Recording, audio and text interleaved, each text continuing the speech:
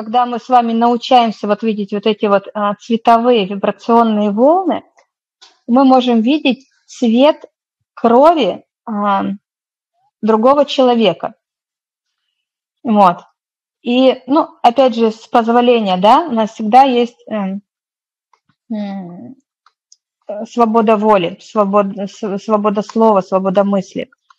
Вот. И когда человек, например, у меня просто уже было несколько раз, когда человек, например, просит, говорит, вот я вот что-то не понимаю, что со мной там происходит, что-то там не то, что-то не так, а ты понимаешь, что он проживает а,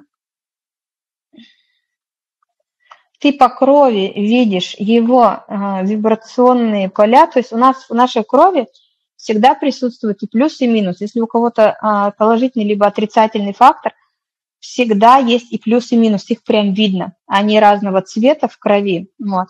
А, и когда ты смотришь вот на эту кровь, ты видишь, что, например, плюсы перенеслись вот с такого вот воплощения, вот, а там минусы вот с такого.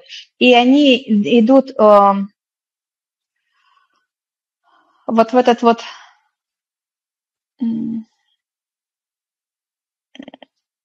в сопротивление друг с другом, и ты, получается, и здесь жизнь а, жить как бы не можешь, потому что вот вроде все, все налаживается, и работа, и любимый, там, и еще что-то и тебя раз, и опять какая-то с тобой приключается определенное событие, ты думаешь, ну что же опять случилось?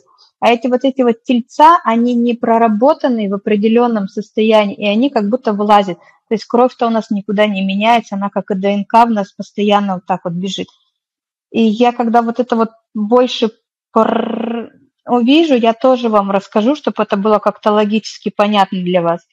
Вот, потому что столько интересных моментов действительно происходит, столько мы можем видеть и знать. И я сейчас думаю, может быть, у меня изменится мнение, я сейчас думаю, что когда мы вот это вот познаем, это вот как, вот эта вот плотность, как,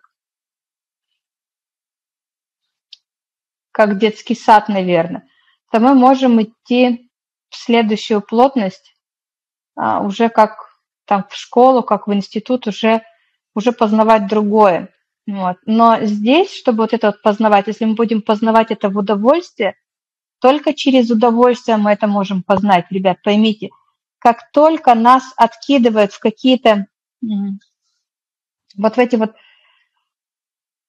во все наши состояния, состояния разочарования – это всегда эти состояния разочарования, это когда мы не хотим выходить на следующий, на следующий уровень познания.